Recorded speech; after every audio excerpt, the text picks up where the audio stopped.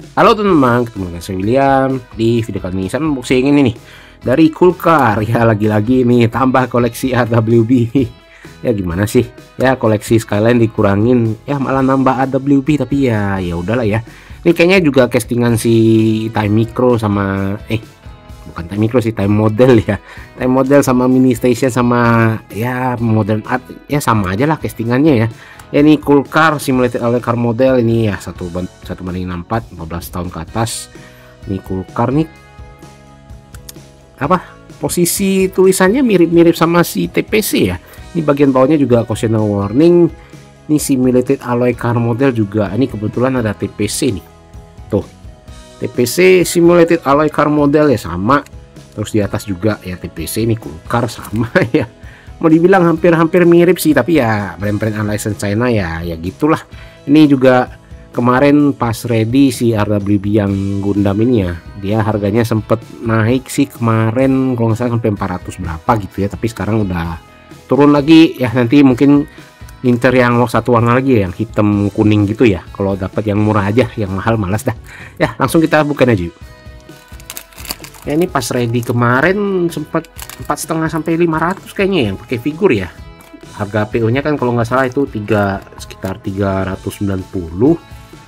terus pas ready naik tuh sampai 450 sampai 500 deh kalau nggak salah. Yang warna ini sama yang warna hitam kuning. Yang hitam kuning belum nemu yang murah sih. Ini kemarin juga dapatnya barter ya sama temen. Jadi ya ya udahlah sekalian aja. Mumpung liverinya juga cakep yang hitam kuning juga cakep sih tapi ya nantilah kalau nemu yang murah aja.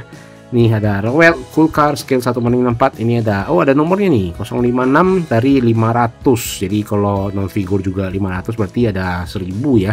Tapi ya menurut saya sih nomor ini nggak seberapa penting ya kalau ditatakan. Soalnya kalau kalau saya koleksi kan di loose ya di loose terus ya nggak kelihatan nomornya juga sih. Ini kita bukain aja dah.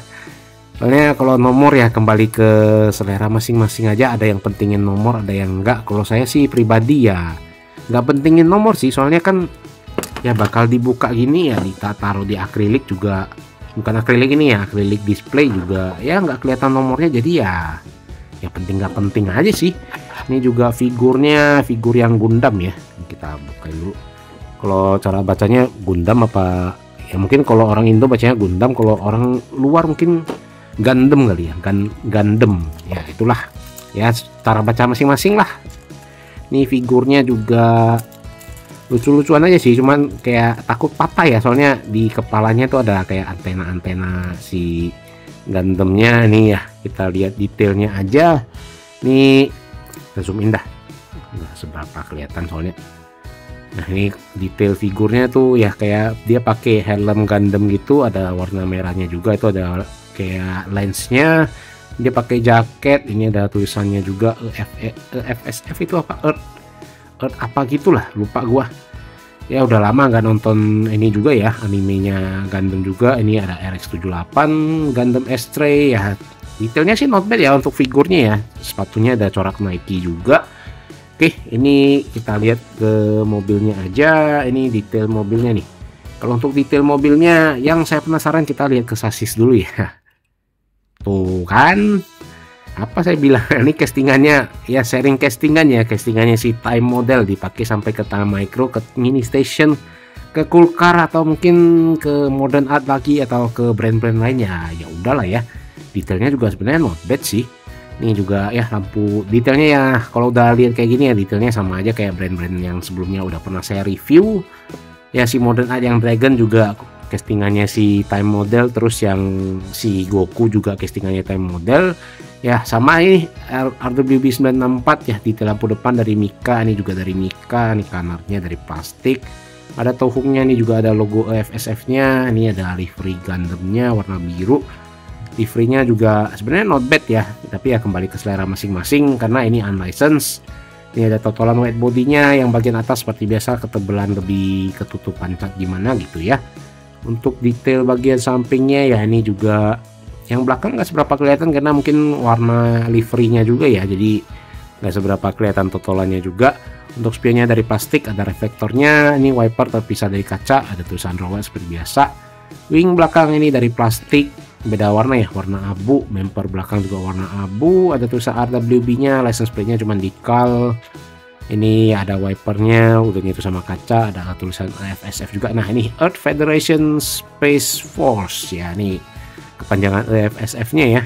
Untuk detail wing samping ini ada tulisan apa nih? K apa sih?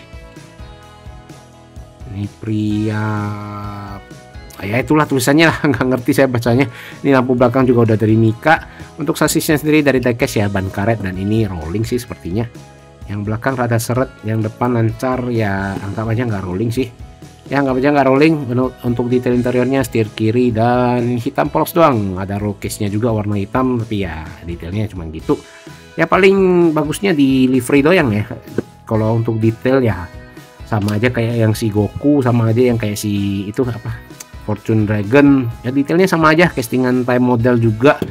Jadi ya ya memang bad sih castingan time model yang RWB 964 nya ya. Jadi kalau kalian teman ya silahkan cari aja.